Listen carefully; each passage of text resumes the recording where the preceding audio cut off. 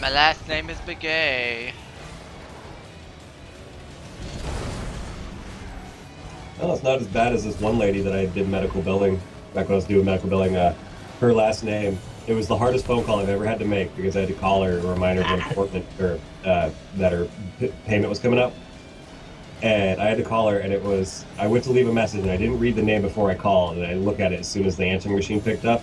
I'm like, "Hi, this is you know so and so from here, and uh, I'm calling for Mrs. Big Beaver."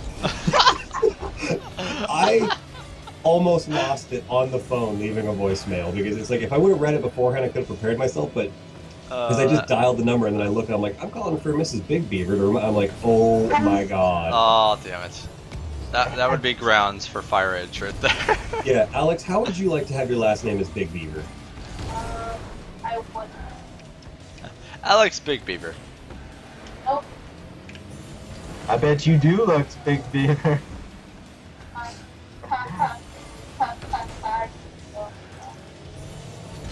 Ugh. Damn, these guys are